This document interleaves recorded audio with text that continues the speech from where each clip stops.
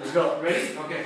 Uh, so this is a question about finding the Ka. What's Ka? Uh, Equilibrium. It's the same thing as K equilibrium, right? Concentration of products divided by the concentration of the Reactant. reactants. Okay? So we need to find that. Uh, at equilibrium, not the initial of the change, right? Now, so we have carbonic acid, and we want to find the Ka of that. So they gave us an initial concentration, which was what? 3.5, and they said that the final pH was 5.6. pH has to do with the concentration of what? Mixture. Of the, uh, what in the mixture?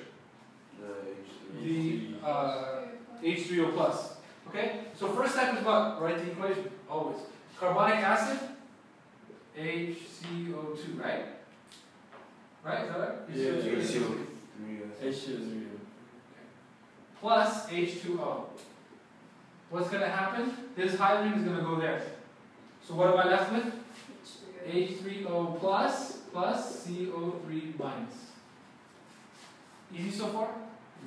Okay, so my initial concentration was 3.5 molar. This is my initial.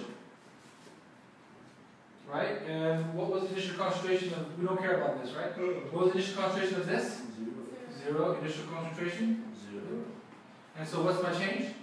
Um, Minus X. What's my change? Plus X. Plus X. What's my change? Plus X. Plus X. Now, here's the thing. Okay, we can finish this up if you like. 3.5 molar minus X, right? X. This is X and X. Now, what was my pH?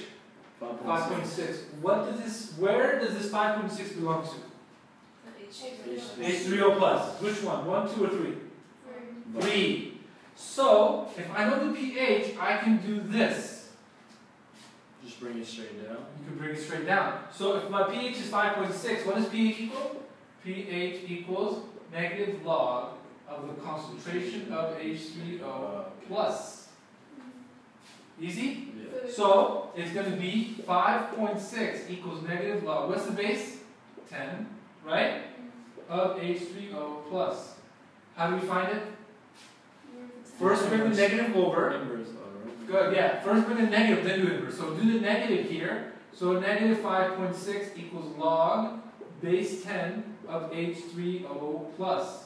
Then what's the inverse? How do you do the inverse? You bring the 10, make it the base of this. So 10 to the negative 5.6 equals the concentration of H3O plus. Calculators?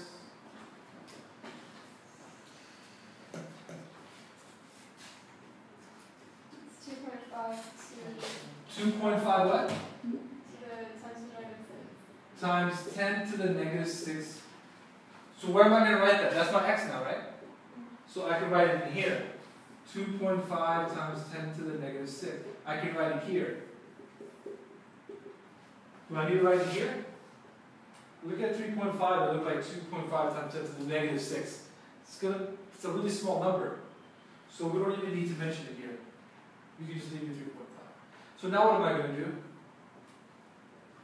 Find I'm Ka. So what's my Ka? Ka is the concentration of H3O plus times the concentration of CO. CO3 minus divided by what? Uh, what is it? Carbonic acid. HCO3. Now what do I do? Other the numbers. 2.5 times 10 to the negative 6, right? Times 2.5 times 10 to the negative 6 divided by 3.5. What do I get? Um, six point one grams, right, times times negative forty. Sure. Yeah, normal. Okay? So that's Ka. Now, if you realize something, okay, maybe you picked up on this or not. Did I really need to do all this? No, I could have just found the pH right away. And assume that these two would be equal and then use 3.5. So once you get good at it, you can skip all this, but just for now, just make sure that you get the uh, uh, concept down really well. You can do it. Alright? Any questions? Shaz? Good, man. Lantika? You want to do this? Yeah. Alright, go ahead. This has been a CQ production.